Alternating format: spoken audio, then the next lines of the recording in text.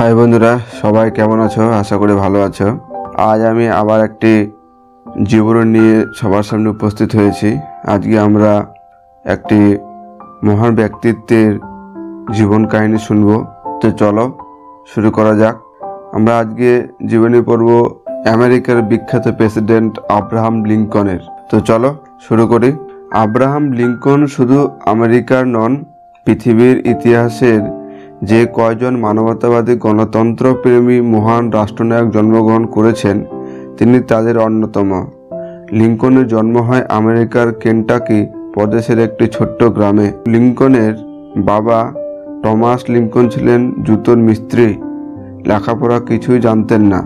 অতি কষ্টে দিন দরিদ্রের মতো তিনি সংসার চালাতেন। লিঙ্কনের যখন চার বছর বয়স তার বাবা ইন্ডিয়ানা প্রদেশের অরণ্যময় অঞ্চলে গিয়ে পাকাপাকিভাবে বসবাস করবার সিদ্ধান্ত গ্রহণ করলেন। বাড়ির চারিদিকে জন্তু জানোয়ারের হাত থেকে বাঁচবার জন্য বড় বড় খুঁটি পোতা থাকত। কাঠের কাজ আর শিকার করে লিঙ্কনের বাবা সংসার চালাতেন। একটি কঠিন প্রতিকূল পরিবেশের মধ্যে বসবাস করতে করতে লিঙ্কন হয়ে ওঠেন পরিশ্রমী, সাহসী। লিঙ্কনের তখন ছয় বছর বয়স। হঠাৎ তার মা গুরুতর অসুস্থ হয়ে পড়লেন। তখন সেখানে কোনো চিকিৎসকের ব্যবস্থা ছিল না। এক গ্রামে ডাক্তার থাকতেন পঁয়ত্রিশ মাইল দূরে। প্রায় বিনা চিকিৎসাতে সাত দিন পর মারা গেলেন লিঙ্কনের মা। মা মারা যাওয়ার পর একটি বছর অতিক্রান্ত হল। লিঙ্কনের বাবার পূর্ব পরিচিতি এই মহিলার কিছুদিন আগে স্বামী মারা গিয়েছিল। সংসারে একজন মহিলার প্রয়োজন বিবেচনা করে তাকে বিয়ে করে নিয়ে এলেন টমাস। সৎমায়ের আগ্রহে তিনি শিখেছিলেন লিখতে, পড়তে, অঙ্ক করতে। পরবর্তীকালে তিনি লিখেছেন, আমার স্কুল জীবনের সর্বসাকল্যে এক বছরের বেশি নয়। ধীরে ধীরে কৈশোর অতিক্রম করে যৌবনে পা দিলেন লিঙ্কন। দীর্ঘ দেহ উচ্চতায় ছয় ফুট চার ইঞ্চি, লম্বা হাত, বলিষ্ঠ দেহ। দেহ অনুপাতে মাথাটি ছোট। যখন হাঁটতেন, শরীরটা সামনের দিকে ঝুঁকে পড়ত। উনিশ বছরে পা দিলেন লিঙ্কন। এ সময় নিউ অরলিয়েন্স বন্দরে কিছু পণ্য নিয়ে যাবার ভার পড়ল। তার উপর একটি বড় নৌকা বোঝাই পণ্য নিয়ে রওনা হলেন লিঙ্কন। যথাসময়ে এসে পৌঁছলেন নিউ অরলিয়েন্সে। এখানে এসে লিঙ্কন প্রথম দেখলেন নিগ্রো। শিশু, নারী পুরুষদের দাস হিসাবে বিক্রি করা হচ্ছে। দাস প্রথার ব্যাপকতা দেখে তিনি পক্ষানি বিচলিত হয়ে পড়েছিলেন। তার এক সঙ্গীকে বলেছিলেন, যদি আমি কোনোদিন সুযোগ পাই, এই জঘন্য প্রথার বিরুদ্ধে চরম আঘাত হানব। নিউ এলিয়েন্সের বন্দরে পণ্য বিক্রয় করে যথেষ্ট লাভ করলেন লিঙ্কন। তার কাজে খুশি হয়ে পণ্যের মালিক তাকে নিউ সালেমের গুদামে ম্যানেজার করে দিলেন। এখানে কাজের তেমন চাপ ছিল না, সমস্ত অবসরটুকু তিনি নানান বিষয়ের বইয়ের মধ্যে ডুবে থাকতেন। প্রকৃতপক্ষে এখানেই তার রাজনৈতিক কাজকর্মের সাথে পরিচয় হয়। একটি প্রাদেশিক নির্বাচনের সময় তিনি নির্বাচন কেন্দ্রে কাজকর্ম, দেখাশোনার দায়িত্ব ছিলেন। নিজের অজ্ঞাতসারে রাজনীতির প্রতি আকৃষ্ট হয়ে পড়লেন। লিঙ্কনের মধুর ব্যক্তিত্ব, তার জ্ঞান, সহযোগিতামূলক আচরণ স্পষ্টবাদিতার কারণে অল্পদিনে তিনি নিউ সালেমে জনপ্রিয় হয়ে ওঠেন। এই সময় তিনি পরিচিত হলেন স্থানীয় একটি সরাইখানার মালিক জেমস রুটলেজের সাথে। তিনি লিঙ্কনকে স্থানীয় রাজনীতিতে অংশগ্রহণ করবার জন্য উৎসাহিত করেন। জেমসের সাথে থাকতে তার একমাত্র মেয়ে অ্যানি। সুন্দর চেহারা, মধুর ব্যবহার। জীবনে এই প্রথম কোনো নারীর সংস্পর্শে এলেন লিঙ্কন। প্রথম পরিচয়ে মুগ্ধ হলেন, কিন্তু অল্প কয়েকদিন জানতে পারলেন এনি ম্যাকলিন নামে এক যুবকের বাগদত্তা। সাময়িক আঘাত পেলেও মনকে শক্ত করে নিলেন লিঙ্কন। ইলিনয় প্রদেশের প্রাদেশিক নির্বাচন শুরু হয়েছে। কয়েকজনের উৎসাহী নির্বাচনে অংশগ্রহণ করলেন লিঙ্কন। কিন্তু রাজনৈতিক অভিজ্ঞতার অভাবের জন্য তিনি নির্বাচনে পরাজিত হলেন। হাতে কোনো কাজ নেই, নির্বাচনে সাফল্য পেলেন না, বাধ্য হয়ে নিউ সালেমে পিউনের চাকরি নিলেন। আঠারোশো চৌত্রিশ সালে আবার নির্বাচনে অংশগ্রহণ করলেন। এইবার তিনি জয়লাভ করলেন। নির্বাচিত প্রতিনিধি হিসেবে তাকে যেতে হলো ইলিনয়ে। পরিষদের কাজকর্মের অবসরে অখণ্ড সময় তেমন কোনো পরিচিত মানুষজন নই। লিঙ্কন স্থির করলেন। তিনি আইন পরীক্ষা দিয়ে ওকালতি করবেন। শহরের লাইব্রেরি থেকে বই এনে পড়াশোনা শুরু করলেন। আঠারোশো ছত্রিশ সালে লিঙ্কন কৃতিত্বের সাথে আইন পরীক্ষায় উত্তীর্ণ হয়ে ওকালতি আরম্ভ করলেন। বিচিত্র পোশাক পরিচ্ছেদ থাকা সত্ত্বেও অল্প দিনেই লিঙ্কন আইনজীবী হিসেবে খ্যাতি অর্জন করলেন। একটি বড় কারণ ছিল তার সততা, নির্লভ মন। তিনি কখনো কোনো অন্যায়কে মেনে নিতেন না।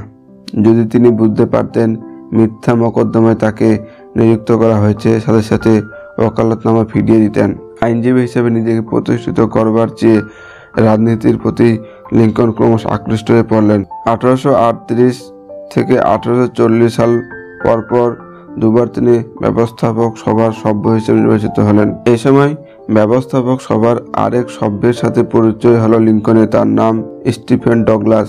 এই ডগলাস পরবর্তী জীবনে ছিলেন লিঙ্কনের প্রধান প্রতিদ্বন্দ্বী।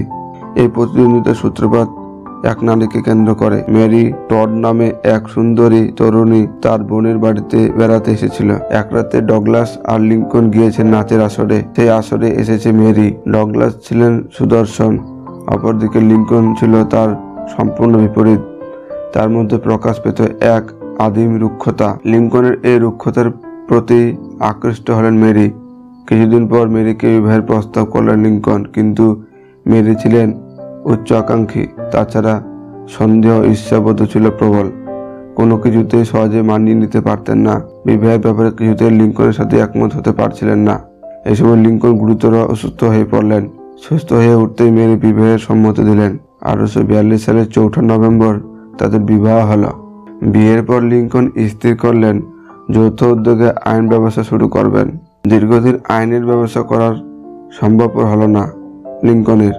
কারণ তার স্ত্রী মেরি, স্ত্রী ব্যবস্থাপক সভার সভ্য হিসেবে লিঙ্কনের কাজকর্মকে মেনে নিতে পারছিলেন না। মেরির ইচ্ছে ছিল লিঙ্কন কেন্দ্রীয় ব্যবস্থাপক সভার সভ্য হিসেবে নিজেকে প্রতিষ্ঠা করুক। রাজনীতির স্রোতে পুরোপুরি নিজেকে ভাসিয়ে দিলেন লিঙ্কন। অল্প দিনের মধ্যেই ইলিনয়ের রাজনৈতিক জগতে নিজেকে অন্যতম প্রধান ব্যক্তি হিসেবে প্রতিষ্ঠা করলেন। অবশেষে আঠারোশো সাতচল্লিশ সালে ওয়াশিংটন পার্লামেন্টের সদস্য নির্বাচিত হলেন। সংসদ সদস্য হিসাবে তিনি প্রত্যক্ষ করলেন ওয়াশিংটনের রাষ্ট্রপতির প্রসাদ হোয়াইট হাউসের অদূরে গড়ে উঠেছে নিগ্রো দাসদের খোয়ার। বিভিন্ন জায়গা থেকে নিগ্রো দাসদের এখানে নিয়ে আসা হয়, তারপর দক্ষিণের বাজারে চালান করে দেওয়া হয়। দীর্ঘদিন ধরে লিঙ্কন ছিলেন এই প্রথার বিরোধী। তিনি মনে করতেন এই প্রথা যদি অন্যায় না হয়, তবে পৃথিবীতে কোনো কিছু অন্যায় নয়। লিঙ্কন পার্লামেন্টের সবাই কলম্বিয়া প্রদেশে দাঁত ব্যবসা বন্ধ করবার জন্য একটি বিল উপস্থাপন করেন। সম্মিলিত বিরোধিতা সেই বিল অগ্রাহ্য হল। ব্যর্থ মনোরথ লিঙ্কন ফিরে এলেন স্প্রিংফিল্ডে, আবার আইনের ব্যবসা শুরু করলেন। তিনি স্থির করেছিলেন, আর রাজনীতির আঙ্গিনায় ফিরে যাবেন না।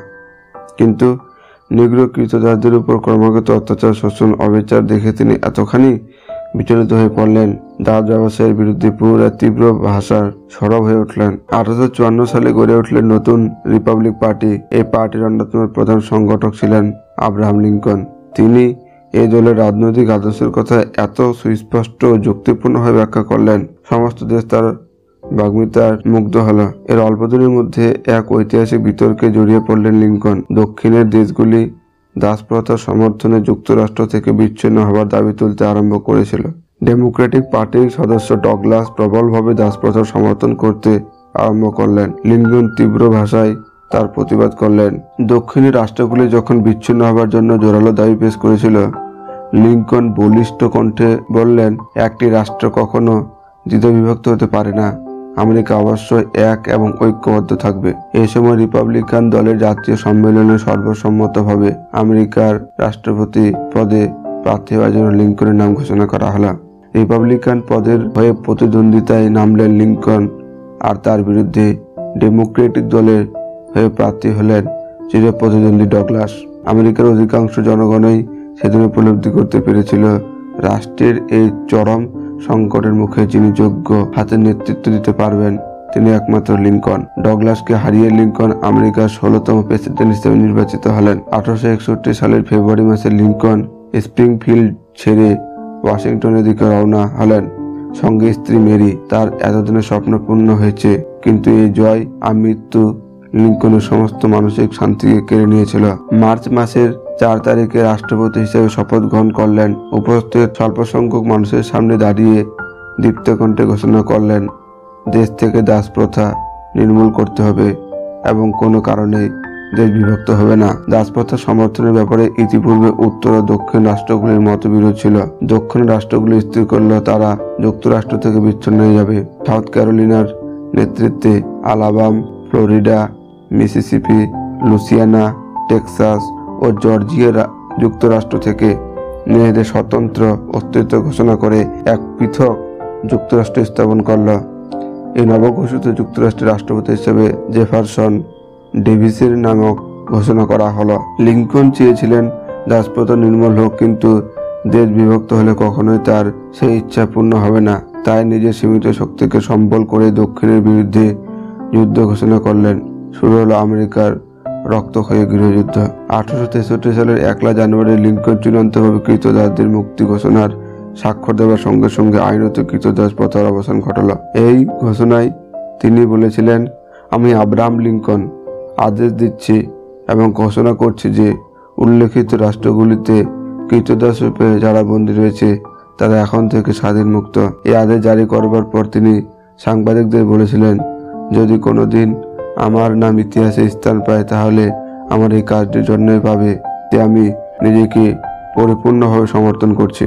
যুদ্ধের প্রথম পর্যায়ে দক্ষিণের সেনাপতি লির অসাধারণ নৈপুণ্যের জন্য উত্তরাঞ্চলের সেনাবাহিনী যুদ্ধের বিভিন্ন পর্যায়ে পরাজিত হতে থাকে। লিঙ্কন দেশের সমস্ত মানুষের কাছে আহ্বান জানালেন যুদ্ধ যোগ দেওয়ার জন্য। তার আহ্বানে সাড়া দিয়ে সৈন্যদলে নাম লেখালো চল্লিশ বছরের এক প্রাক্তন ক্যাপ্টেন, নাম গ্র্যান্ট। গ্র্যান্ট সৈনিক হিসাবে ছিলেন খুব বীর সাহসী কিন্তু তার প্রধান দোষ ছিল অত্যধিক পরিমাণে মদ্যপান করতেন। আর এই দোষে তার চাকরি গিয়েছিল। শেষ পর্যন্ত গ্রান্টের প্রচণ্ড আক্রমণের মুখে পিছু হতে আরম্ভ করলেন লি। দক্ষিণের একটার পর একটা শহর তার হাতছাড়া হয়ে গেল। শেষে লি আশ্রয় নিলেন রিচমন্ড শহরে। শহরের উপকণ্ঠে তখন গ্রান্টের কামান গর্জন করছে, তখন শুধু অপেক্ষা লির আত্মসমর্পণের। দেশবাসীর কাছে লিঙ্কন তার ঐতিহাসিক ভাষণ দিলেন।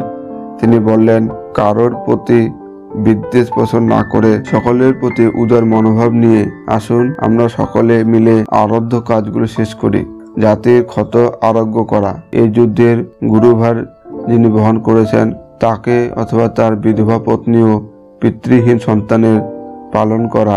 নিজেদের মধ্যে ও সকল জাতির সঙ্গে ন্যায্য এবং স্থায়ী শান্তি অর্জন ও পোষণের ব্যবস্থা এই আমাদের কর্তব্য। অবশেষে দীর্ঘ পাঁচ বছর পর যুদ্ধ শেষ হলো। লি আত্মসমর্পণ করলেন। ওয়াশিংটনে ফিরে এলেন লিঙ্কন শত শত মানুষের অভিনন্দনের জোয়ারে ভেসে গেলেন তিনি। জনগণের ভিড় কমতেই একে একে মন্ত্রী পরিষদের সদস্যরা এসে ভিড় করে সেখানে। এখনও কত কাজ বাকি রাতের বেলায় থিয়েটার যাওয়ার কথা। অনেকটা মেরির অনুরোধেই তিনি রাজি হলেন। থিয়েটার হলে পৌঁছতে সমস্ত দর্শকরা তাকে অভিনন্দন জানালেন। নিজের আসনে গিয়ে বসলেন লিঙ্কন আর মেরি। দু ঘণ্টা কেটে গিয়েছে বক্সের দরজার সামনে যে পৌরে ছিল তার কাছে একজন লোক এসে বলল, প্রেসিডেন্টকে একটা সংবাদ দিতে হবে। রক্ষী ভেতরে যাওয়ার অনুমতি দিতে। আততায়ীর ভেতরে ঢোকেই লিঙ্কনের মাথা লক্ষ্য করে গুলি চালালো। চেয়ারের উপর লুটিয়ে পড়লেন লিঙ্কন। লিঙ্কনকে ধরাধরি করে নিয়ে যাওয়া হলো, থিয়েটার হলেন সামনে একটা বাড়িতে আঘাতের বিরুদ্ধে তার বলিষ্ঠ দেহের প্রাণসত্তার দ্বন্দ্ব চলল নয় ঘণ্টা ধরে। লিঙ্কন অচেতন, সেখানে উপস্থিত মেরি, লিঙ্কনের বড় ছেলে, তার মন্ত্রদের সবাই। সকাল সাতটায় অজ্ঞান অবস্থায় লিঙ্কন শেষ নিঃশ্বাস ত্যাগ করলেন।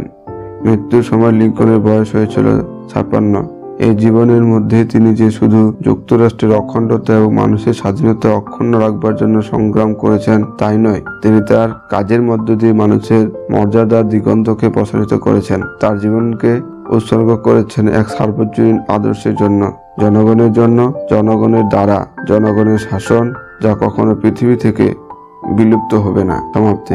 ভিডিওটি পুরো দেখার জন্য সবাইকে আন্তরিক দিক দিয়ে ধন্যবাদ।